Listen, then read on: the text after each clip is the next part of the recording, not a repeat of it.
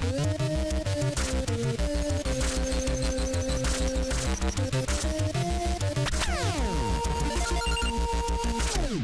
What's up gamers, Dreamcast Guy here, and this video is going to be so freaking hyped because it's time to talk about a Sega Dreamcast Mini. And yes, this seems to be absolutely real, which is that Sega themselves has started to talk about their next major project, and they realized that doing a Dreamcast Mini could earn a ton of money because there are just so many hardcore Dreamcast fans, and people like maybe you who would just try it out because they never had a chance to sit down with the Dreamcast Dreamcast before.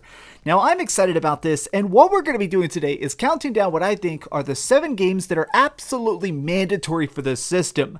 And it's hard to narrow it down to seven, which is why I chose just such a random number, because I am obsessed with the Dreamcast. You may not know this, but I own and have played every single Dreamcast game. I own tons of different controllers. I even tracked down a bunch of the strategy guides and stuff just so I can see like different interpretations of the art.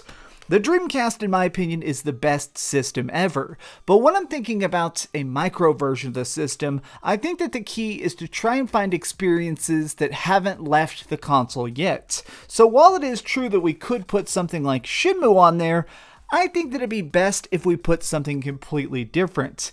Games like Jet Set Radio. Sega in the 90s was definitely famous for a lot of stuff, but something I think they did best is that they practically created their own genres for a lot of games. And Jet Set Radio is definitely a beast all unto itself. It's like a grinding trick game with a crazy storyline and one of the best soundtracks of any experience ever released. It is just so banging from wall to wall, and it's one of those games that I think people have been clamoring to come back in some form. Now, I'm a big fan of Jet Set Radio Future, the sequel we got, but the original Jet Grind Radio is a game that is so good and really deserves to come back, which also brings me to something that I've seen a lot of people talking about recently, which is, of course, the original Sonic Adventure. This is the European box art for it, and Sonic Adventure has aged exceptionally well. There are a couple levels that are a bit glitchy, but when it comes to the era of like 3D Sonic, this still remains to be one of the best, and I think that people would get a chance to appreciate it more for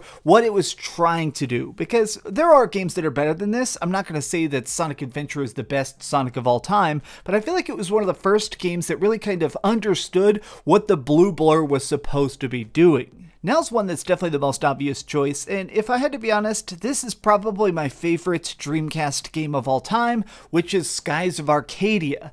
This is a huge RPG that has airships, multiple combat systems, crazy upgrades, and it also brings me to a secondary point about what I hope the Dreamcast Mini has.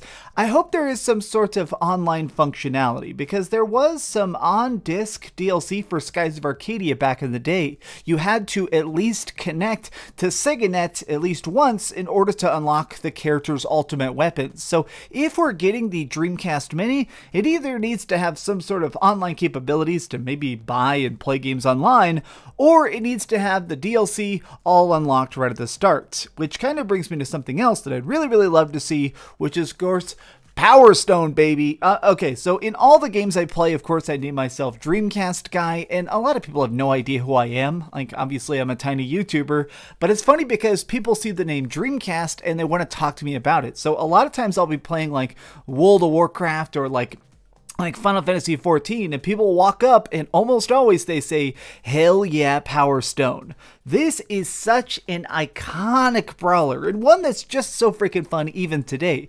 I truly believe that this is something that kind of established the groundwork for great games like Super Smash Bros. Like Super Smash Bros. did things better and bigger. Uh, obviously, the first Smash Bros. came out before even this, but I think that this managed to do some 3D fun action and crazy power ups to such a superb degree agree now I've got a game that's probably going to throw you for a loop because there's a good chance you've never heard of it, but I wish you had, and I've always said that part of the reason these micro consoles are important is because not only are they going to sell a bunch of systems, but they're also there to try and introduce a new audience to classics, right? Like you may not notice it, but in my background I have the uh, the PlayStation Mini. I think the PlayStation Mini, for how bad that thing sucks, at least it introduced a bunch of people to more obscure, great classic PlayStation games. And that's why I believe that Record of the Lodoss War absolutely deserves a spot on a Dreamcast Mini. It's basically like a single player only Diablo style game with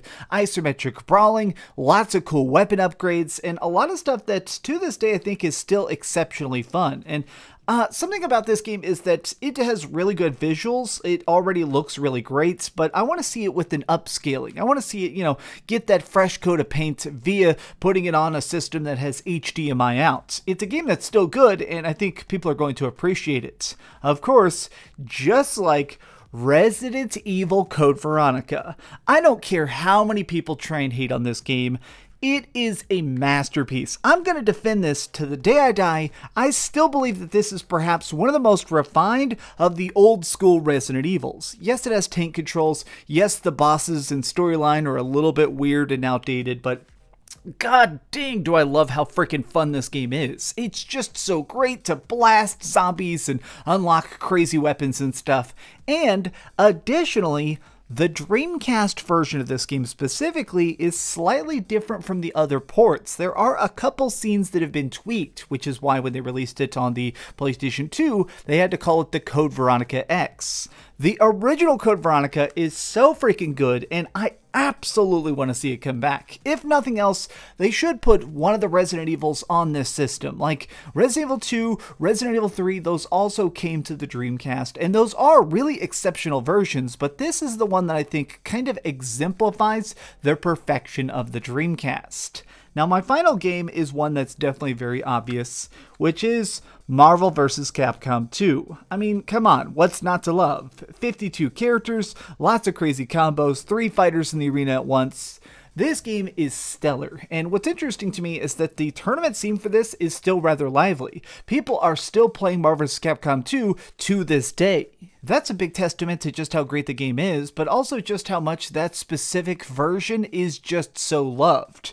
Technically, you could play this on other systems. There was like Marvel vs. Capcom 2 on the Xbox and the PlayStation 2, but it's definitely perfected. It's definitely the most refined and polished when it comes to the Dreamcast version. And if it comes back, I mean, people are going to be buying the Dreamcast Mini, lining up to get one, even if it is just to practice that next big tournament for Marvel vs. Capcom 2 all these systems are going to be good. I- am just, whatever they pick, I'm sure is going to be good. It's still just crazy to me that this might actually exist and relatively soon. Now, I'm going to finally tell you guys a secret. I heard about this about two years ago.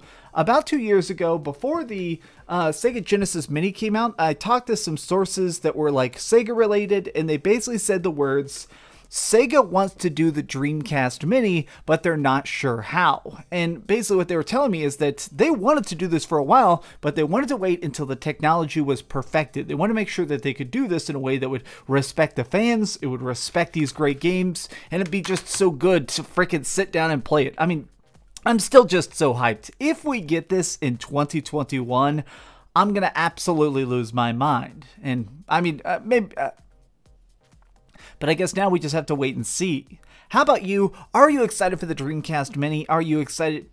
How about you? Are you excited? How about you? Are you excited for the Dreamcast Mini? Do you think that this is just something that's too good to be true? Let me know your thoughts in the comments down below. And if you enjoyed this video, please give it a thumbs up, share with your friends, and subscribe if you haven't already. But do me the biggest favor of all and keep dreaming.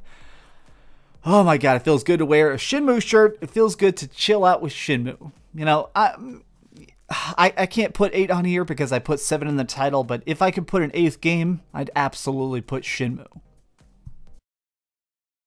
Thanks so much for watching that video. If you want to see something else, you can always click this link to see what I put up last, or, you know, subscribe and see what's coming up next. Also, I promise that whatever I do, it'll try not to suck.